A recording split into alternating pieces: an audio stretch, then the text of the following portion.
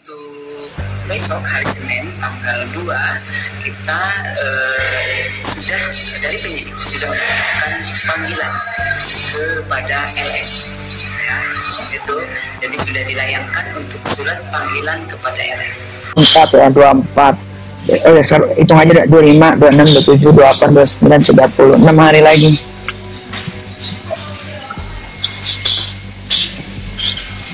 Enam hari lagi Kang Semir Pemeriksaan kepada Fadel Fajideh rupanya mundur lagi. Salah prediksi nih. Kita Mirzani memprediksi bahwa Fadel akan dipanggil pada tanggal 30 yakni hari Sabtu ya. 6 hari lagi ketika ia menyampaikan. Namun setelah dikonfirmasi masih ada salah satu saksi kunci saksi utama yakni LM Laura Misani Putri ini kita Mirzani yang masih akan dipanggil tanggal 2 Desember. Tentu Fadel setelahnya. Ibu eh, permasalahan Laura dan eh, laporan dari Nikita Mirzani kami menjadi seperti apa sih? Ya, laporan yang dari NM ya setelah kita tindak lanjuti kemudian dari penyelidikan menjadi penyidikan ya kemudian sudah menunjukkan bukti eh, memeriksa saksi-saksi ya saksi itu saksi yang melihat mendengar dan mengetahui. Kemudian juga dari saksi ahli tentunya. Kemudian untuk besok hari Senin tanggal 2 kita eh, sudah dari penyidik sudah melakukan panggilan kepada LM ya itu jadi sudah dilayangkan untuk surat panggilan kepada LM Itu jam berapa? jam 11 Dan rencananya memang LM akan datang atau eh, dari pihak penyidik yang akan eh, datang ke rumah man jadi dikoordinasikan dulu ya ke- yang jelas sudah dilayangkan surat untuk untuk eh, pemanggilan eh, sebagai saksi tentunya saksi korban sebenarnya selain LM dalam waktu dekat siapa lagi yang akan dipanggil? Minggu depan mungkin rencana untuk itu ya jelas eh, untuk waktu dekat setelah LM pasti via ya tapi untuk jadwal tanggal hari jamnya masih di tapi pendidik belum melayangkan surat panggilan untuk saya. Karena saya belum selesai belum ya jadi kita periksa dulu untuk eh, diminta keterangan saudari kita. LM LM itu eh, eh, akan apakah akan ada di dalam konfrontir dengan eh, nggak sih? ya kalau itu wewenang penyidik. Ya wewenang penyidik untuk untuk sementara ini eh, surat pemanggilan resmi untuk LM sudah dilayangkan. Surat sudah dilayangkan oleh penyidik Tapi eh ada dari dari eh, eh, jadi da- belum ada kejelasan respon dari eh, pihak itunya. ya untuk sementara ini penyidik sudah melayangkan. Untuk pemanggilan LM Kapasitasnya LM dipanggil itu berapa? untuk meminta keterangan sebagai saksi, eh, saksi korban. Saksi korban karena memang LM sebagai korban. Mungkin selain LM dalam waktu dekat siapa lagi yang akan dipanggil? Minggu depan mungkin rencana untuk itu ya jelas eh, untuk waktu dekat setelah LM pasti via ya, tapi untuk jadwal tanggal hari jamnya masih tapi pendidik belum melayangkan surat panggilan untuk Belum. saya. Karena LM belum selesai belum. Ya jadi kita periksa dulu untuk eh, diminta keterangan saudari kita LM itu eh, eh, akan apakah akan ada kon- konfrontir dengan eh, FK nggak sih? ya kalau itu wewenang penyidik ya wewenang penyidik untuk untuk sementara ini eh, surat pemanggilan resmi untuk LM sudah dilayangkan Tapi sejauh ini kondisi LM sendiri seperti apa? sehat ya dari penyidik eh, juga sudah berkoordinasi dengan PP P3A ya dalam keadaan sehat. Ya. Dan artinya siap, eh, Loli sendiri siap untuk untuk hadir. siap. Siap ya. Jadi sudah berkoordinasi dari pihak eh, penyidik kemudian juga dari eh, kuasa hukum dari orang tuanya ya. Sudah sudah berkoordinasi semua ya. Oh, artinya di sini eh, eh, kita negara juga sudah tahu ya ada pemanggilan. iya. Artinya Nikita Mirzani akan mendampingi juga ibu? Ya kan orang tuanya jadi orang tuanya itu wajib mendampingi selain juga kuasa hukum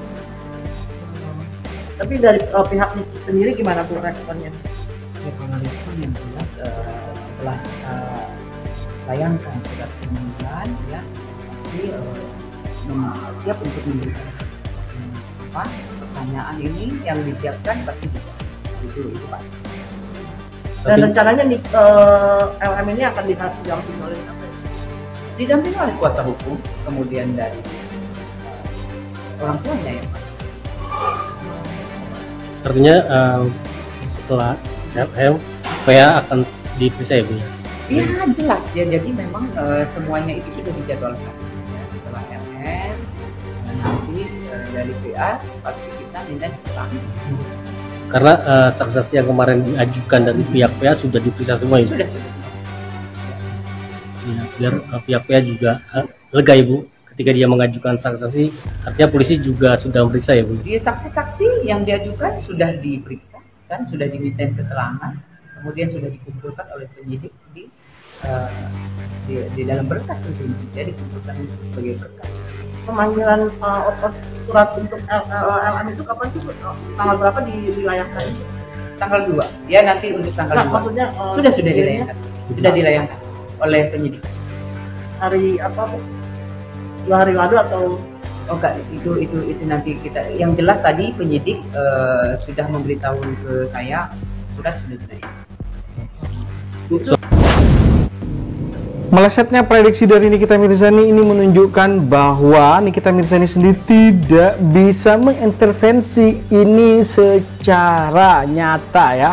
Artinya memang benar-benar bahwa Nikita Mirzani dalam kasus Laura Mizani, kasus laporan putrinya ini dia diperlakukan sama dengan Fadel. Jadi tidak ada nantinya ketika Pak Fadel ditetapkan menjadi tersangka di kasus ini tidak ada yang namanya kriminalisasi. Ini salah satu juga yang bisa kita ambil hikmah.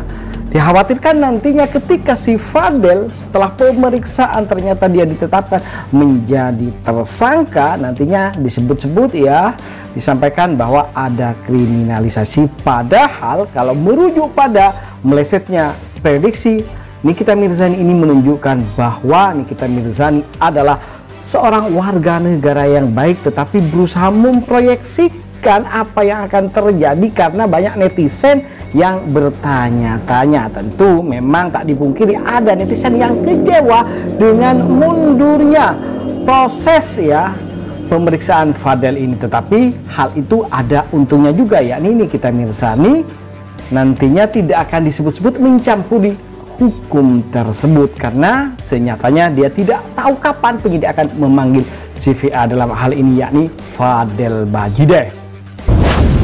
4 ya 24 oh ya sor- hitung aja dah 25 26 27 28 29 30 6 hari lagi.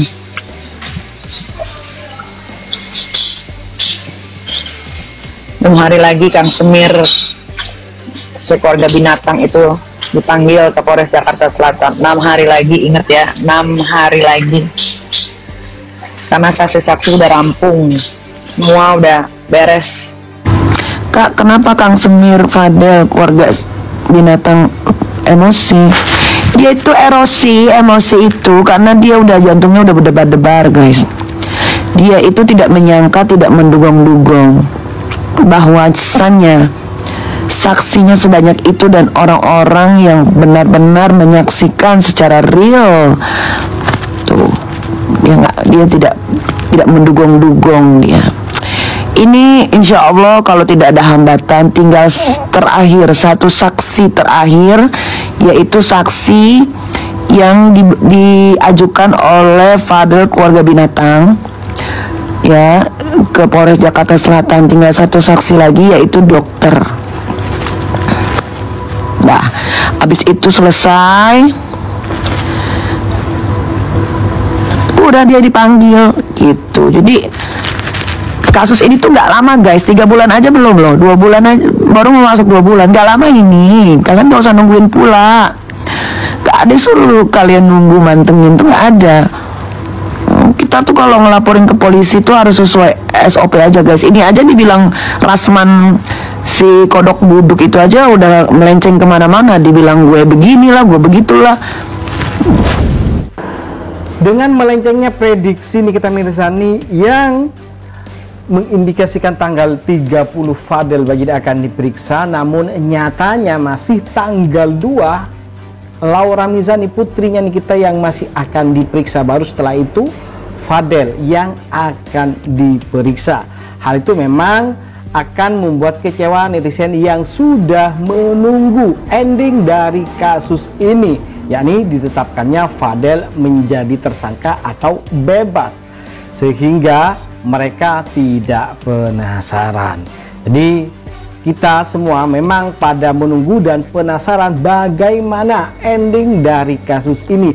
Benarkah Fadel berbohong dalam kasus Nikita ini yang menghamiduni ya, yang diduga disebut-sebut dituduhkan dia menghamiduni LM lalu melakukan tindakan menyuruh aborson dan melibatkan ya Sepertinya diduga melibatkan dokter dan lain-lain yang kita tidak bisa sebutkan. Adalah nanti penyidik yang akan membuktikan pengembangan dari kasus ini.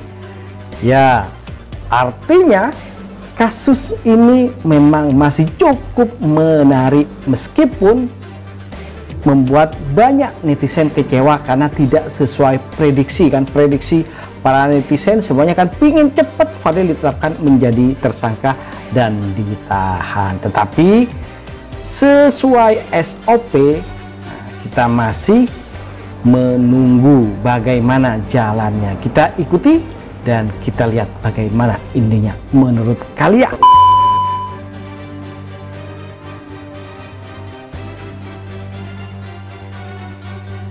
Bagaimana menurut kalian guys? Jangan lupa kasih komentar, like, dan masukan agar tambah seru keuangan mereka berdua yang so selalu akan kita sajikan kabar terbaru terupdate tentang selebriti tanah air dan mancanegara yang bakal bikin kita semua happy senang dan update akan kabar berita terbaru tentang mereka tentunya. Oke itu saja kabar dari kami. Jangan lupa like, comment, dan subscribe. Terima kasih telah menonton. Yuk, bye-bye.